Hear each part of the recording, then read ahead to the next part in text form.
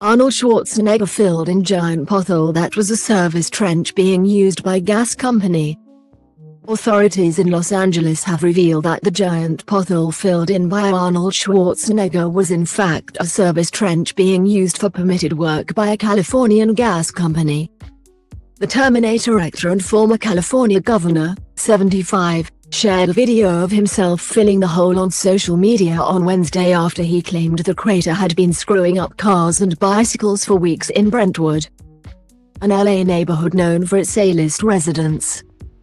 In the clip, a passerby thanked them for taking action and Schwarzenegger replied, You're welcome well decked out in work boots, a leather jacket and sunglasses.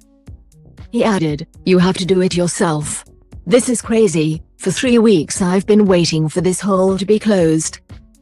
Alongside the post, the Hollywood actor wrote, Today, after the whole neighborhood has been upset about this giant pothole that's been screwing up cars and bicycles for weeks, I went out with my team and fixed it.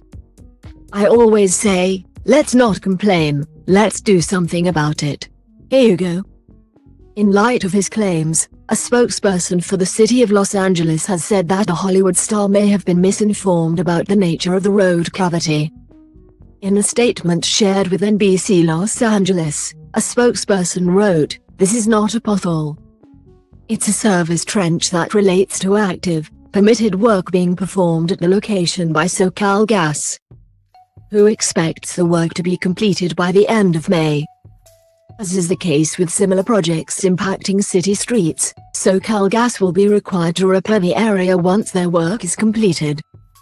A service trench is a hollow cut made into the ground to allow maintenance work to be undertaken below the surface of the road.